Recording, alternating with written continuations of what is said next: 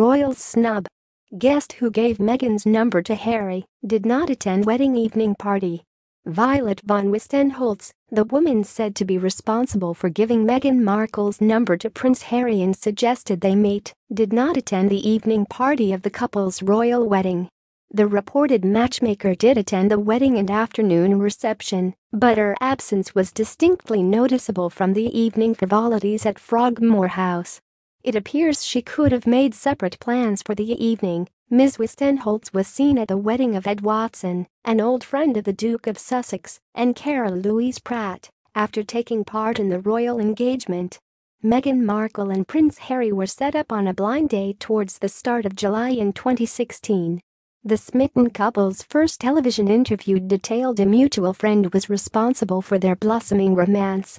Prince Harry said, We were introduced actually by a mutual friend.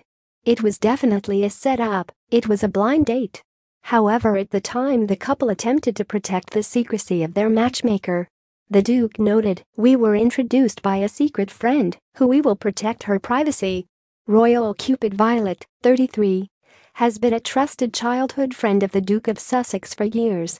The fashion PR was once reportedly romantically linked to singer James Blunt, who also attended the wedding. Violet's father, Baron Piers von Westenholz, is a former Olympic skier and a friend of Prince Charles. Ms. Westenholz met Meghan Markle while working as a press relations director for Ralph Lauren. She is understood to have soon become the mediator between the pair and responsible for setting up their first date that ultimately turned into a royal romance. A source told E! News Prince Harry was having a really hard time finding anyone before he met Meghan. They commented Harry was having a really hard time finding anyone. It's hard enough finding someone new to date. He can hardly go on Tinder or a dating app like normal people, but to meet someone that you actually connect with, that was proving to be almost impossible. It was something he had confided in his closest friends about. He was ready to meet someone, but it was so hard to actually find the right person. Meghan had been a part of the London social scene for a while and had slotted into the high society set really easily.